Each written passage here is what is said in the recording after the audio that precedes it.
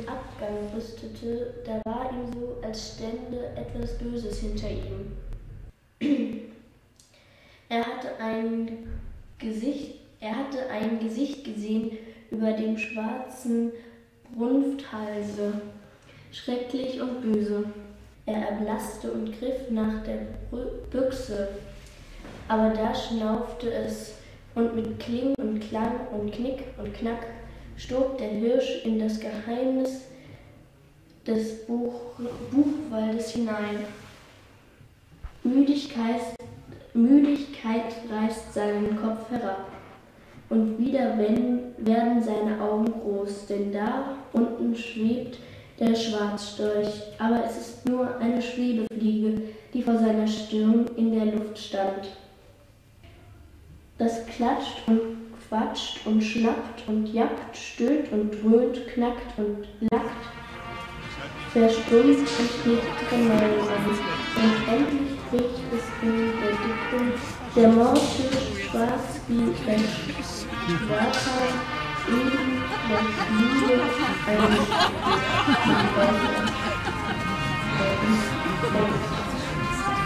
Mann an stark wie der Bilder fallen and harmony.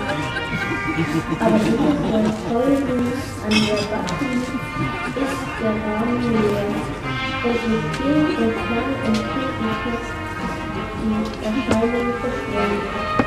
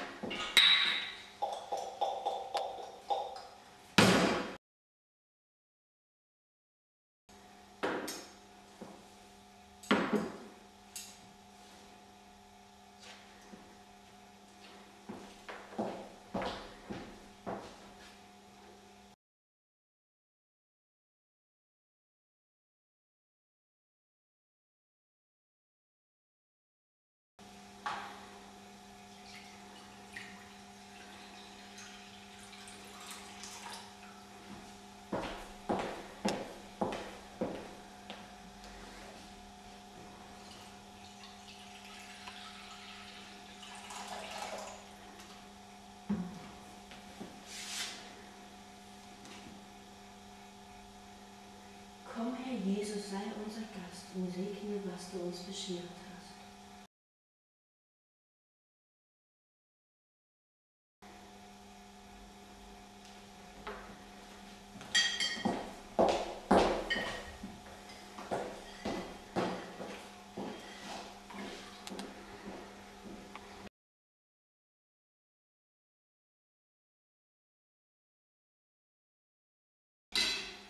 Es knickt, knackt, schwappt, jappt.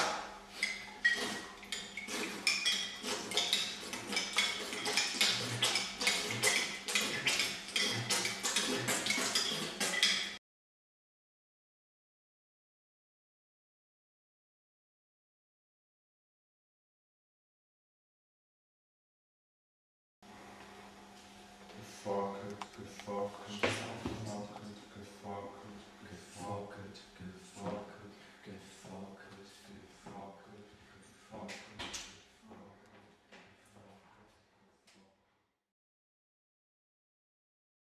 Der Morgen kommt mit herber Luft. 2,8 Bar. Aber weit und breit meldet kein Hirsch 25.000 Hektar.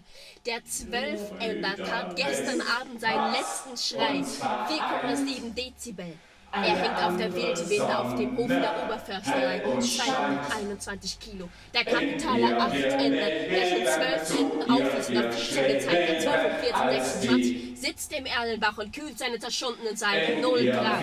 Auch er überfiel der Mordhirsch hinterrücks. Achtmal. Der Zehnender aus dem Brandmoore steht im Stangenort und rührt sich nicht. 0 kmh. Der Mörder hat meine Stange in das Gehirn gerannt und mir die halbe Besinnung genommen. 0,5. In der Lichtung liegt die Zehneende auf der Seite und streckt die Läufe weit von sich. Der Forstmeister sendet reitende Boten ab und sein Sekretär steht den halben Morgen am Fernsprecher. 10 und 20. Der Schadhirsch muss sterben, tausendmal. In einer einzigen Wohnzeit sieben gute Hirsche zu Schanden geportet. Optimal. Wie der Dieb in der Nacht war er gekommen und gar gegangen. Wohin, das wusste keiner. Hinter dem breiten, tiefen Entwässerungsgraben hing eingeklemmt zwischen den beiden Stämmen einer Zwillingskiefer. Der Mordhirsch mit weiter raushängendem Lecker. 3,20 Meter. Die ganze Nacht musste er so gehangen haben. 14 Stunden. Das Geweih mit den langen, spitzen, endenlosen Stangen berührte fast die Erde. Schrecklich aufgetrieben war der Leib. Drei Kubik. Und unaufhörlich kam aus dem weichschaumigen Windfange ein röchelndes, hoffnungsloses Stöhnen.